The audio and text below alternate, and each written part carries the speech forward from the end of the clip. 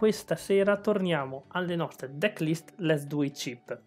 Quindi decklist di mazzi che non sono all'apice della potenza, non sono paragonabili forse ai mazzi top meta, però con un budget abbastanza ridotto noi possiamo andare a creare un mazzo che, come dire, può dire la sua e anche divertente. Questa sera andiamo a parlare di Polizia Dimensionale, ma nella sua versione Enigman. Mazzo Enigman, che l'unica difficoltà diciamo sarà più che altro recuperare carte vecchie e una e soprattutto che tutti conosciamo. Partiamo dallo starter, noi andiamo a giocare la chain di Enigman. Quando le chain erano belle, ovvero in BD04. Cosa dice infatti lo starter? Dice che se noi andiamo a convocare sopra di lui il G1 Enigma in crespatura, che è il G1 giusto della chain, andiamo a recuperare dal mazzo il G2 direttamente, non andiamo a cercarlo tra le prime 7 o altre cose del genere come fanno le altre chain. Andiamo direttamente a prenderci il G2 della chain. Andiamo quindi a vedere la line di G1, giochiamo ovviamente il 4 per quindi di Enigma in crespatura, ovvero il G1 della nostra chain. L'unica pecca di questa carta è il 6000 di forza. Era la cosa negativa che avevano queste chain e purtroppo ce la dobbiamo subire. Cosa dicono però i suoi due effetti? Vabbè, uno ovviamente, abbiamo appena detto, fa partire lui, se andiamo a convocarlo giusto, e sempre in Vanguard dice che se nell'anima è presente Enigma Flusso, lui è un 8000, non un 6000, quindi ci permette di difenderci meglio. In retro invece, quando noi lo schieriamo, possiamo scartare un qualunque G3 e andarci a recuperare Enigman Tempesta dal mazzo. Andiamo poi a vedere un altro G1 arrivato con GBT1 che è Enigma Nuvola. Enigma Nuvola è una carta che ci permette di recuperare i pezzi che non abbiamo in mano, che ci servono per fare i nostri vari effetti, perché cosa dice?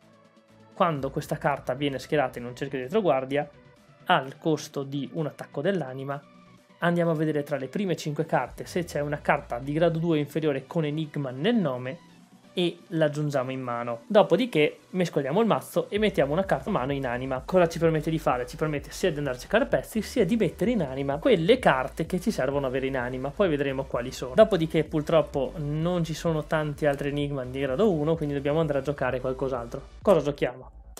Vabbè, i 4 per della PG, non esiste una PG Enigman, quindi andiamo ad accontentarci di quella che vogliamo. Questa forse la fa un po' uscire dalla questione Let's Do It Budget, Let's Do It Chip, scusate, però può essere sostituita tranquillamente da qualunque altra PG. Io gioco questa perché mh, mm, la ho, quindi nessun problema, ma se qualcuno non l'avesse e dovesse procurarsi questo mazzo da zero, sappiate che qualunque PG va bene. Noi giochiamo questa perché questo mazzo gioca parecchi counterblast, quindi una carta che ci sta un danno non è male. Per chi non la sapesse, vabbè, è una PG, quindi come sapete, se noi la schieriamo in un cerchio del guardiano, scartiamo una carta e pariamo l'attacco. L'unica cosa di queste qua è che al prezzo di poter parare solo Vanguard, ma a noi non interessa pararle retro, va bene, so che c'è Laurel e Polizia Dimensionale, ma a noi non interessa. Comunque al costo di poter parare solo Vanguard, lei se c'è una sua coppia nel cimitero e noi lo usiamo per parare, ci stappiamo un danno, quindi schifo non fa. Dopodiché, ovviamente, il 2 per di Rowler, quindi questa è l'altra carta forse più costosa che abbiamo qua dentro. Sicuramente la più costosa e forse è, l'ult- è l'ultima carta costosa che abbiamo veramente. Lo giochiamo solo in 2 per perché tendenzialmente una colonna tende ad attaccare prima della Vanguard, quindi perde un po' la potenza e non è Enigman, ma soprattutto non abbiamo bisogno di giocarne veramente 4. È comodo averne due, più di due io non le giocherei. Cosa dice Laure? Dice che se il nostro Vanguard dovesse colpire qualunque cosa, noi mettiamo a riposo 4 retroguardie e stappiamo il Vanguard. Quindi ci permette di farci altri check e di mettere sempre più sul nostro avversario. Non ne giocherei più di due, se voi volete giocarne di più, nessun problema. Andiamo a vedere quindi i gradi 2 di gradi 2 giochiamo la Sein, però a differenza degli altri mazzi che avete visto, giochiamo solo due di Enigma Nonda. Perché ne giochiamo due? perché andiamo a tutorarcelo col grado 1, andiamo a tutorarcelo con nuvola e possiamo metterlo in anima con altre carte, quindi giocarne di più non ha senso a mio parere. È comodo, è bello vederlo in mano, sopra addirittura Enigma in crespatura ancora meglio, però cosa dice? Dice che se abbiamo Enigma Nonda in anima e lui è in Vanguard è un 10.000 non un 9.000 e soprattutto se prima della battaglia dovesse raggiungere i 14.000 di forza, quindi deve avere increspatura nell'anima e noi lo abbiamo potenziato in qualche maniera, guadagna l'effetto che se colpisce ci fa pescare una carta. Schifo non fa, però non è sempre detto che succeda e, come ho detto, questa carta ha due effetti in Vanguard, che vuol dire che fuori dal cerchio di Vanguard è un giallone da 9000, quindi per questo anche ne giochiamo solo due. Dopodiché andiamo a giocare una carta invece molto utile arrivata con GPT-1, che è Enigman Cielo Notturno in quattro copie. Cosa dice Enigman Cielo Notturno?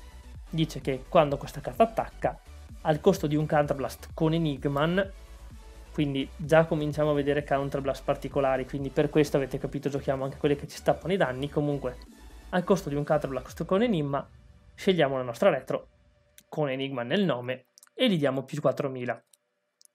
Quindi serve ad attivare tutti gli effetti, tipo il suo. Ce la possiamo cercare con Enigma Cloud, quindi direi che è un supporto più che utile per questo mazzo. Dopodiché so che tanti giocano più Enigma Nonda, ma a me non piace, io gioco il 3x del Kaiju degli Ioni. Kaiju degli Ioni lo preferisco ad altre carte quando il suo attacco colpisce, Counterblast 1 e diamo meno 3000 al Vanguard avversario. Diciamo che è un po' l'opposto suo, però che non dà la potenza che tanti giocano Becco Cosmico, è una buona scelta anche Becco Cosmico, però richiede due Counterblast, a me sta piacendo di più giocare il Kaiju degli Ioni. Non giochiamo altri G2. Come mai ne giochiamo così pochi? Perché preferisco tenermi degli spazi in più per i G3. Adesso vediamo il perché. Allora, che G3 giochiamo? giochiamo ovviamente il nuovo arrivo di GBT1, ovvero il 4x di Enigma Tornado. Enigma Tornado è la nostra finisher, tra virgolette, o comunque una delle carte principali che vogliamo vedere in Vanguard. Cosa dice? Dice che quando attacca, se il, cioè in una sottofase di battaglia, in una sottofase di battaglia, se la sua forza è 19.000 superiore, che non è difficile raggiungere, tranquilli, dopo vedete il perché, guadagna un effetto, ovvero che se dovesse colpire Counter Blast 1, Soul Blast 1, quindi un attacco, un, giriamo un danno e tiriamo via una carta all'anima, scegliamo una carta chiamata Enigman Tempesta dalla nostra anima, la raidiamo e prende più 10.000. Quindi ci permette di fare un altro attacco in più di Vanguard che schifo non fa, soprattutto vedremo perché anche col crit. Il suo secondo effetto dice che scegliamo una carta dalla mano, la mettiamo in anima e prende più 4000. Quindi vedete che i 19.000 che chiede il primo effetto non sono così difficili da raggiungere, basta due carte in anima dalla mano, oppure delle carte specifiche che vediamo dopo.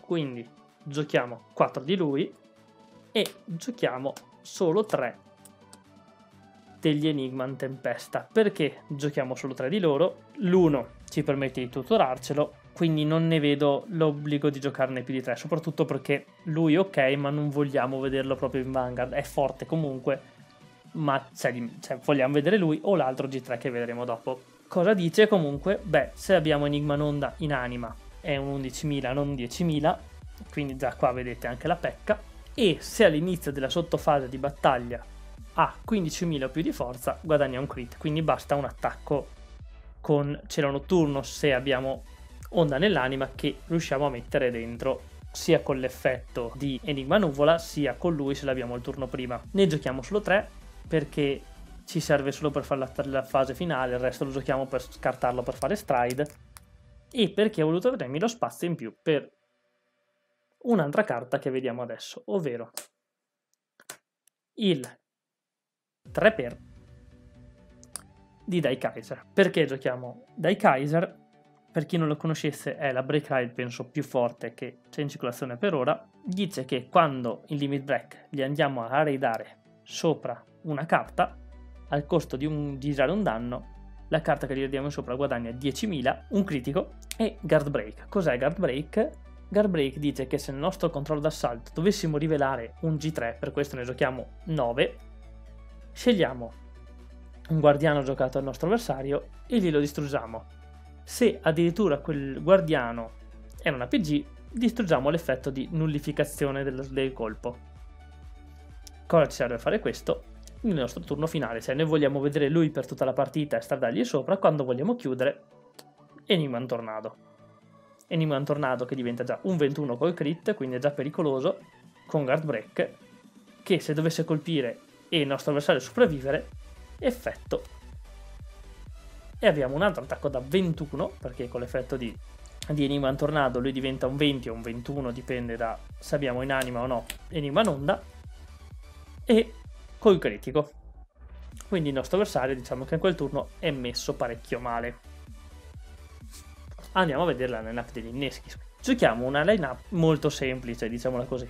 Prima di tutto i 4 per di Enigma Tramonto. Carta arrivata con GPT-1 ed è il critico per eccellenza per questo mazzo. Infatti, cosa dice il suo effetto? Dice che eh, se questa carta è la nostra anima, noi possiamo ributtarla nel mazzo dare più 4000 al nostro Vanguard con Enigman nel suo nome. Se lo facciamo, quella carta guadagna anche l'effetto che se l'attacco dovesse colpire, counter charge 1. Quindi cos'è la forza di questa carta qua? Che giocando solo lui in anima giochiamo per suo effetto, lo mettiamo in anima, prende più 4000, attiviamo il suo effetto, torna nel mazzo, più altri 4000, raggiunge i 19 che ci servono, abbiamo rimescolato un crit e anche se dovesse colpire, praticamente giochiamo il suo effetto soltanto tirando via una carta all'anima, critico fondamentale per questo mazzo. Dopodiché io gioco il 4 per del buon Die Butler.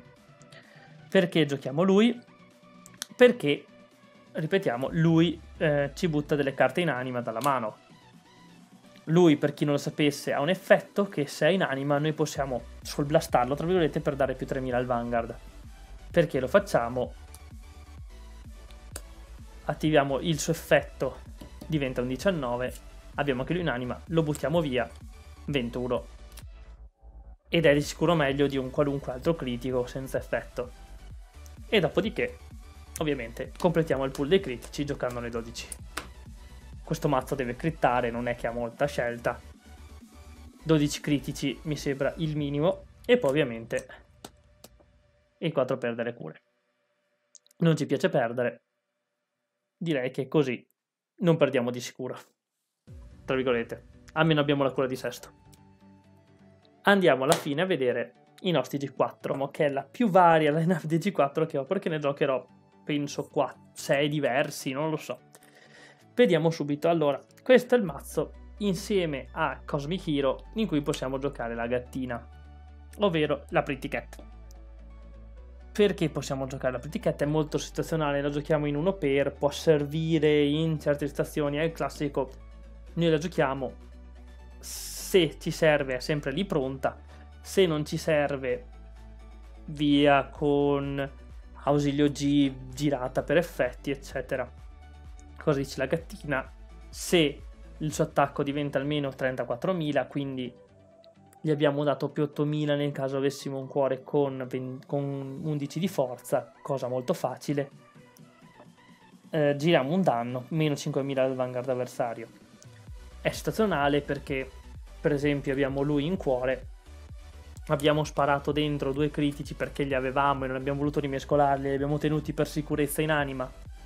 Gli spariamo adesso, li rimettiamo nel mazzo, più 8000 li guadagna e ha Enigma nel nome perché la trascendenza guadagna anche il nome del cuore. Tiriamo un danno, meno 5 all'avanguardia avversario, può servire in certe situazioni che non abbiamo mano, non abbiamo danni per fare altre cose. Diciamo con uno per molto situazionale, ma ci può stare. Poi giochiamo il 2 per di Omega. Omega, per chi segue il nostro canale, l'ho già spiegato bene nella decklist di Zial, però eh, in, un manga, in un mazzo in cui, scusate, in cui c'è anche Laurel, lui guadagna ancora più forza. È comodo, avere il 2 per può sempre servire, uno o due vedete voi, ma per me il 2 per ci sta perché può servire anche più volte. Cosa dice il suo effetto? Quando noi andiamo a stridarlo in Vanguard, giriamo 2, pariamo un attacco dall'anima, scegliamo una nostra retro, per esempio Enigma Tornado, la mettiamo in anima e tutta la fila frontale del nostro avversario prende meno la forza di quella retro. Quindi nel caso di Enigma Tornado prende meno 11. Quindi ci può servire sia per buttare in anima, non so, il classico Enigma Onda, buttare in anima Enigma Tempesta, buttare in anima la carta che ci serve, che tipo per caso abbiamo giocato in retro perché ci serviva il turno prima, dare meno forza, abbiamo Laurel, picchiamo sicuramente due volte, ci facciamo un più 6 in mano perché il doppio check, il triplo check. Quindi io, se fossi in voi, due li giocherei sempre. Poi, come al solito, l'ho spiegato più volte, c'è la possibilità, ovvero Enigma in Tempesta, di avere un Vanguard da 10.000, quindi l'1 per dell'Harmonix Messiah per me ci sta. Eh, Vanguard da Stride G4 giallone che però ha un 16.000 quindi se noi fossimo costretti a non avere supporto dietro Vanguard avere l'enigma in tempesta come cuore non con enigma nonda nell'anima che scusatemi enigma nonda a parte enigma in tempesta è un 10.000 sempre quindi andando a stridarci sopra qualcosa ci stradiamo sopra lui almeno è un 26 se non abbiamo supporto dietro può sempre avere a quei 1000 in più per colpire senza, con più scudi. Dopodiché giochiamo l'1 per di Falco X. Perché giochiamo Falco X? Questo mazzo può fargli raggiungere sempre situazioni, quindi per questo lo giochiamo solo in 1 per i 45.000 di forza che gli servono per attivare il suo effetto. Quindi l'1 per ci può stare, è sempre situazionale, può sempre servire. Cosa dice? Se il suo attacco dovesse colpire e ha almeno 45.000 di forza, anche col supporto, giriamo due, scartiamo una carta, nost- scegliamo una retro del nostro avversario e gliela mettiamo nei danni tappata. Può essere il danno finale. Quindi se noi vediamo che il nostro avversario non riesce a parare questo attacco qua, però ha ancora tanti danni, tipo ne ha ancora tre. Quindi noi sappiamo che non riusciamo a chiuderlo in questo turno, noi andiamo a provare a fare lui gli diamo tutta la forza possibile, rispariamo fuori i critici, eh, su, attacchiamo prima con i cieli notturni in modo da dargli la forza, cerchiamo di fargli raggiungere i 45.000, attacchiamo con lui, se il suo attacco va, abbiamo vinto. Tutto qui, serve solo a questo, come detto, è sempre situazionale, può sempre essere utile per farla sparire con ausilio G. Diciamo che al posto di usare Atmos, che comunque giochiamo in una copia, è sempre meglio. Dopodiché giochiamo due Tigre X, perché due non di più. Ok, può servire, però, come dire, lui diventa forte dalla seconda stride, la prima è difficile che faremo lui, e per, fa girare una qualunque altra carta, quindi noi potremo girare anche queste, non siamo obbligati a girare una Tigre X arrivare alla terza battle, alla terza stride, vuol dire che la partita è andata veramente male e quindi tendenzialmente non ci arriviamo. Preferisco avere quindi più soluzioni varie eh, che avere un'unica soluzione che è Tigre X. Cosa dice Tigre X? Quando attacca, noi giriamo a faccia in su, quando attacca Vanguard, scusatemi, giriamo a faccia in su una carta della nostra G-Zone, lui guadagna 4000 per ogni carta a faccia in su nella nostra zona G e se raggiunge almeno i 45.000 di forza guadagna un crit. Diciamo che è il nostro stride che deve continuare le nostre due stride prima di andare a fare il turno finale. Ultima, ma non per importanza, ma in realtà sì, giochiamo l'uno per di Atmos. Serve sempre per situazionale se abbiamo bisogno di fare un attacco grosso di Vanguard, il primo attacco grosso, ehm, non abbiamo carte che ci permettono di potenziare, eccetera. Ci sta sempre uno per, ma può diventare una qualunque carta di queste, di per sé. Può diventare anche il secondo Harmonix nel caso abbiamo bisogno di fare due stride di Tempesta, diventare un'altra Tigre X per fare una, un terzo attacco di Tigre X, diventare, boh, volete giocarci due Falco X, nessun problema. Questa quindi era la decklist di Enigman, lo vedrete penso alla fine di questo periodo, brutto periodo, nelle nostre Zui chip. Spero che questa decklist vi sia piaciuta, è un po' particolare, un po' strana. Ci vediamo al prossimo video.